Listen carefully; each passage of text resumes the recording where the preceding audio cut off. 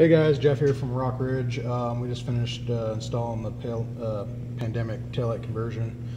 Um, seems like there's you know people who have issues putting the lights in, and I wanted to show you a couple little tips and tricks.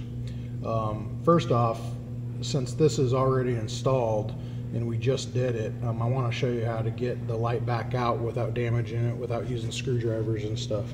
Um, all you do is push the light evenly back into the cavity of the Jeep. Then go ahead and pull out your grommet. Okay. Pull out your light. I'm going to disconnect the light just so I can show you something here.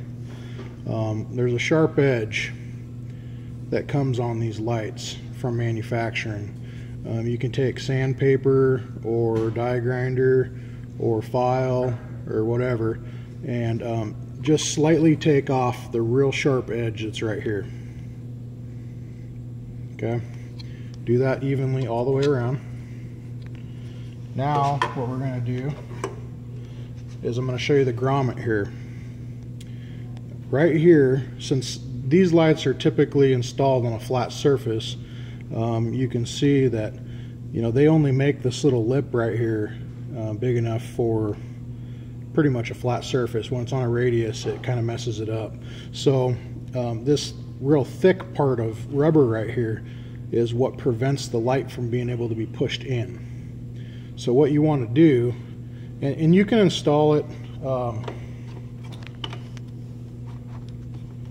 like that.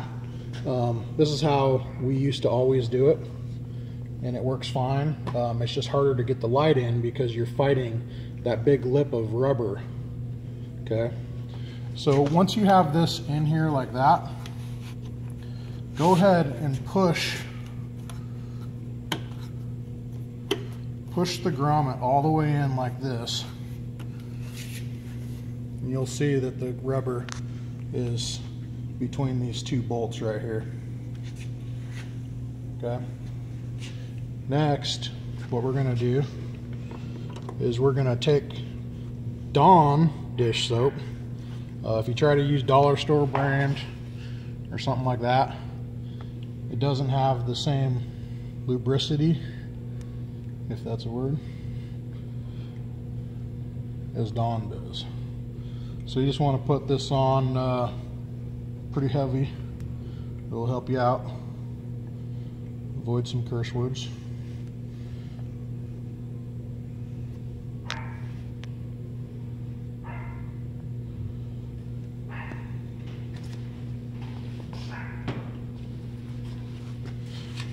Have your rag ready.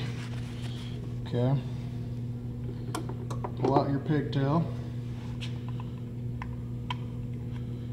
Plug your pigtail into the light.